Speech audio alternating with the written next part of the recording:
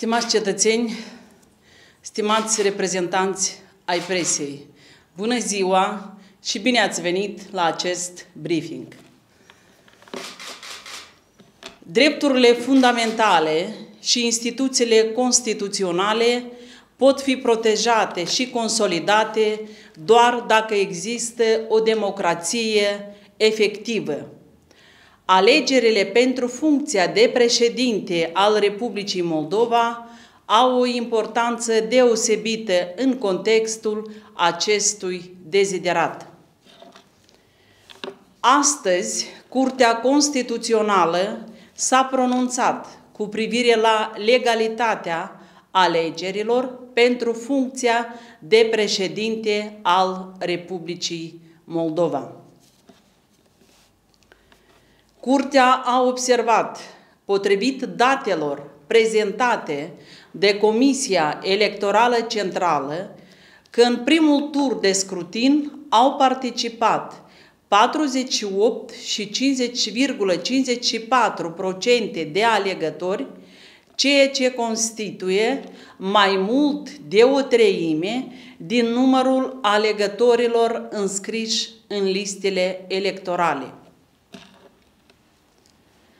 Astfel, a fost îndeplinită condiția participării la alegeri a unui număr mai mare de o treime din numărul alegătorilor înscriși în listele electorale, stabilite de articolul 125 aliniatul 1 din Constituție, din codul, sorry, din codul electoral. De asemenea, Curtea a reținut caracterul justificat al organizării celui de-a doilea tur de scrutin, având în vedere că în primul tur nu a fost ales un candidat care să întrunească cel puțin jumătate din voturile alegătorilor ce au participat la alegeri.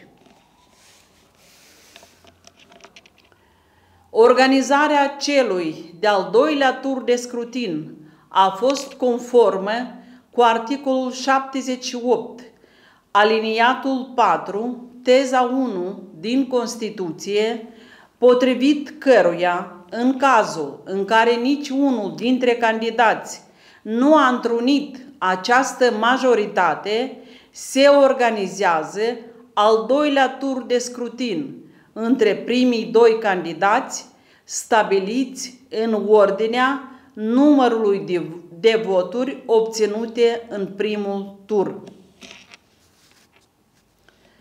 În conformitate cu articolul 125, aliniatul 2 din codul electoral, în turul 2 de scrutin, alegerile se declară valabile indiferent de numărul alegătorilor care au participat la acesta.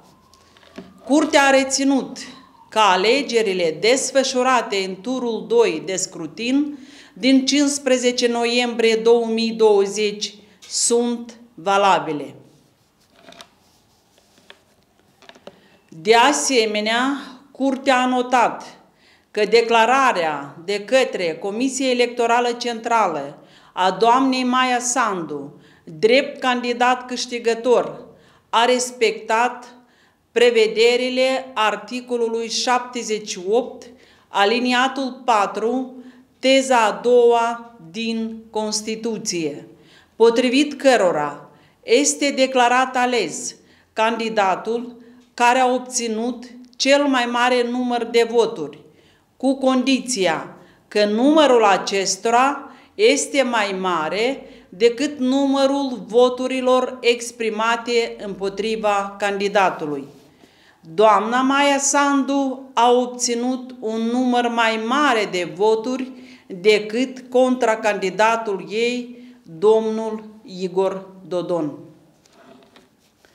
Curtea a mai observat că contestațiile depuse în instanțele de judecată, având ca obiect alegerile prezidențiale au fost declarate inadmisibile sau respinse după caz.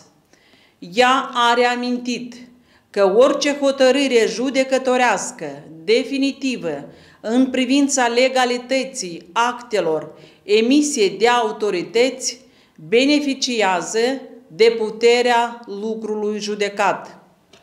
Curtea nu se poate pronunța în privința concludenței și pertinenței probelor administrate în procesele judiciare, care au avut ca obiect examinarea legalității actelor și a acțiunilor sau a inacțiunilor organelor electorale.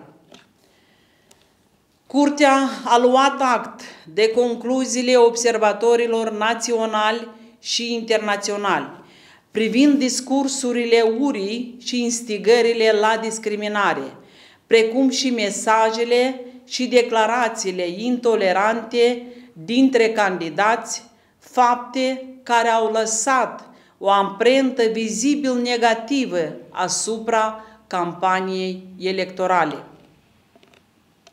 Ea a subliniat că orice comportament instigător la ură este contrar prevederilor Constituției și că legislația națională în materie trebuie îmbunătățită prin instituirea unor mecanisme de control și de sancționare promptă.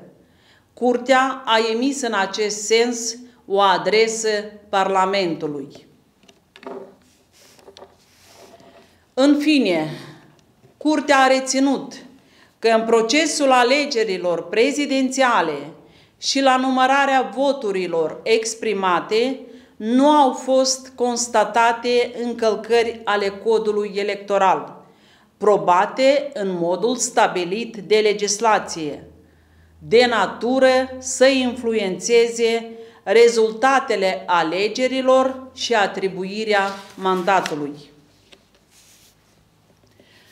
Curtea a notat că ieri, pe data de 9 decembrie, doamna Maia Sandu a prezentat confirmarea faptului că nu este membru al vreunui partid politic și că nu îndeplinește nicio altă funcție publică sau privată. Având în vedere aceste circumstanțe, Curtea a confirmat rezultatele alegerii președintelui Republicii Moldova din 15 noiembrie 2020 și a validat alegerea doamnei Maia Sandu în funcția de președinte al Republicii Moldova. Vă mulțumesc pentru atenție.